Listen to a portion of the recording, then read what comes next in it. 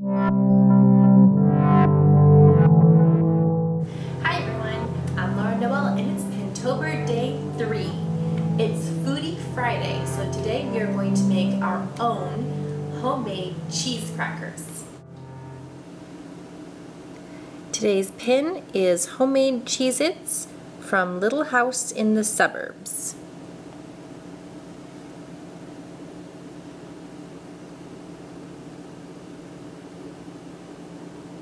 Now on this blog, The Little House in the Suburbs, it's actually a recipe for gluten-free Cheez-Its. Um, and her recipe calls for sorghum flour and coconut flour. Now, I am all for gluten-free, but I have not tried that recipe and I don't have sorghum flour in my house. So uh, on another website, I believe it's the same person, but I'm not actually sure. Um, she quoted that instead of using those two gluten-free flours, you can use just one cup of plain white all-purpose flour. So that's what I'm going to be using today um, instead of those two, but the rest of the recipe is the same. This particular recipe, when you make one recipe, it makes, she says it makes about the equivalent of a small box of Cheez-Its. Now I have found that in my house that goes really, really quickly. Um, based on what kind of food processor you have, it'll depend on how big of a batch you can make. I currently have an 11 cup um, food processor and so I actually double her recipe and found that that is a good amount for us to eat in a couple of days. I used to have um, when I first started, I used just a mini four cup processor and I actually had to split the recipe into half and make half at a time and that worked for us too. So you have to figure out how big your food processor is and how much of a recipe you're going to make. So I'm going to tell you how much for one recipe, but I'm actually going to be making a double recipe myself. So first thing is if you're doing all-purpose flour, one cup of all-purpose flour, or as her recipe calls for, half a cup of sorghum flour and a fourth cup coconut flour, whichever one you prefer. Then you're going to use four tablespoons, which is half a cup of cold unsalted butter.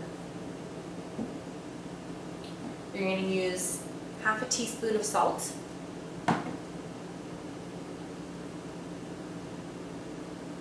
And she says half, um, half a teaspoon of cayenne pepper.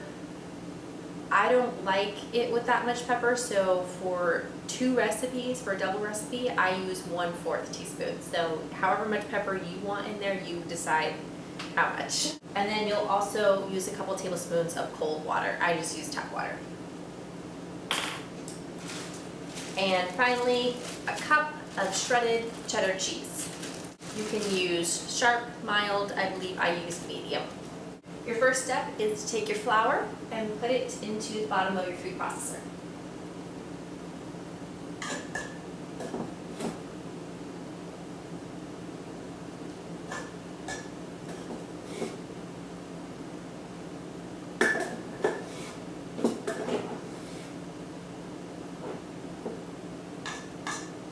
Then take your butter, open it up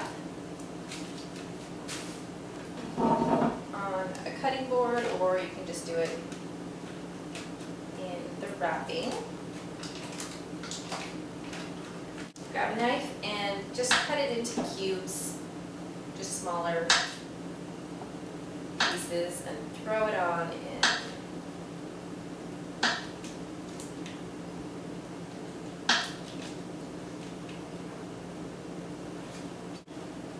Cover your click it into lock, and pulse it a few times.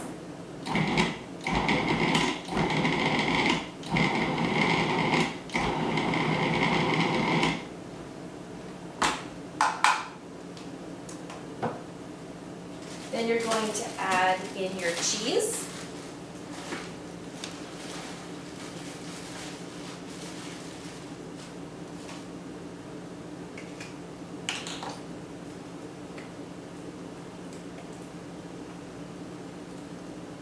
your salt.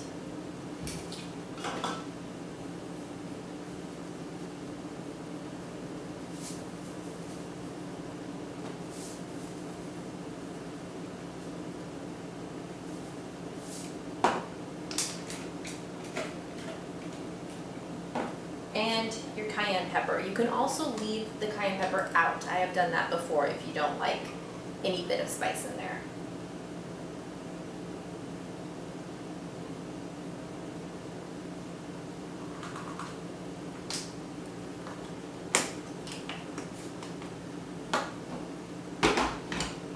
Going to want to pulse it until it gets crumbly together.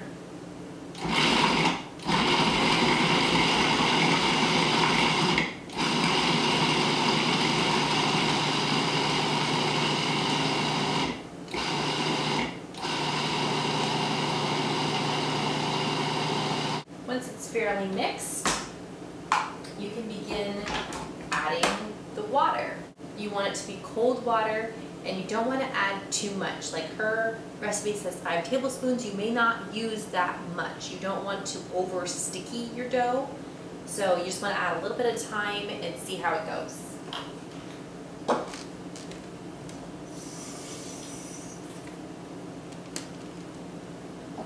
I usually turn it on and just keep adding water.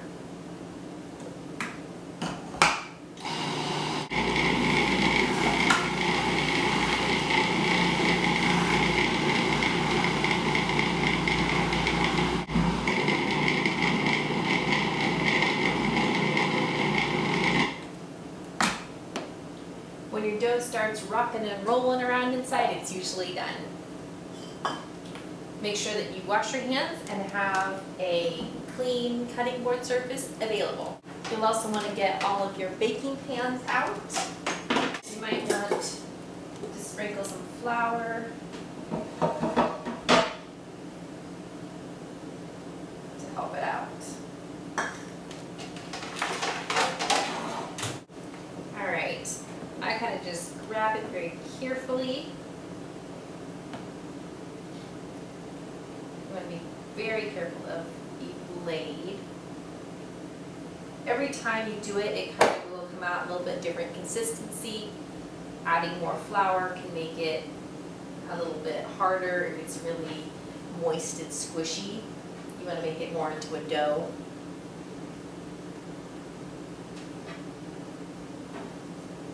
Once you have a nice dough consistency, you can take some and either just hand pat it out or roll it with a rolling pin. If you're a perfectionist, you can try to do what she does here, make them all perfect squares with little dots in them. Or you can do what I do, just roll it out, cut, slice, break, however you need to get them onto the pan. You'll also want to preheat your oven at 350 degrees.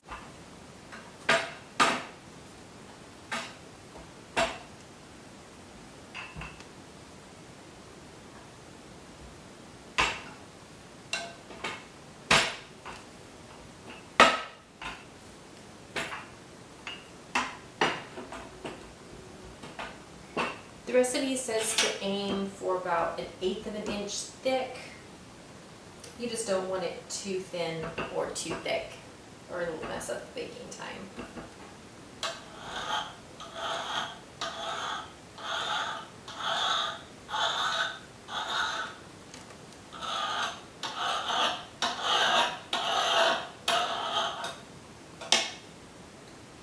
Once you have them cut, you can just place them on a pan.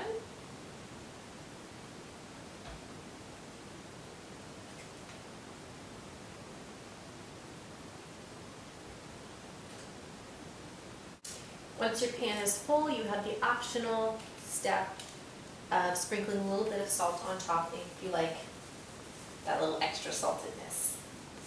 And they are ready to go into the oven. The recipe says they bake about 20-25 minutes. Oh.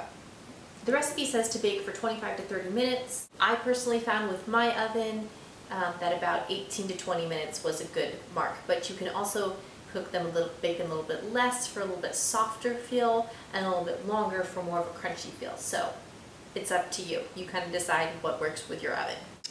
So there they are, my very imperfect collection of homemade cheese crackers. I love these things. They are so good and perfect snack, definitely healthier than crackers that you get in the store. They, of course, don't taste just like Cheez Its, uh, but they do taste like cheese crackers. So they're kind of a mix between a goldfish and a Cheez It, and they're cheese crackers, and they're so good. so thanks for watching, and we'll see you tomorrow. Bye. It's great. I have been using this for several months. My husband